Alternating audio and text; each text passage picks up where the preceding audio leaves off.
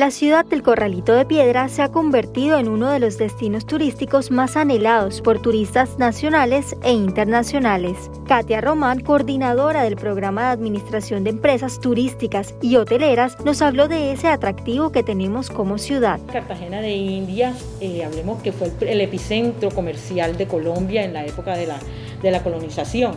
Entonces aquí fue donde llegó todo, ¿verdad? Y salía todo para eh, comercialmente. Entonces, lógicamente, hubo una gran, eh, este, una, una interculturalidad, por así decirlo, que hubo en nuestra ciudad.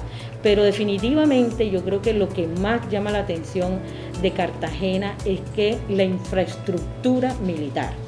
La UNESCO la declaró en 1984 como patrimonio de, la humanidad. Nuestra arquitectura republicana, los colores y sabores de nuestras tradiciones son fuertes atractivos turísticos de una ciudad que ofrece diferentes tipos de experiencias turísticas. La verdad es que para, para Cartagena, yo creo que Cartagena de India es una de las ciudades que uno puede decir que eh, no tiene de todo, pero tiene muchas cosas que contar en, con relación al turismo.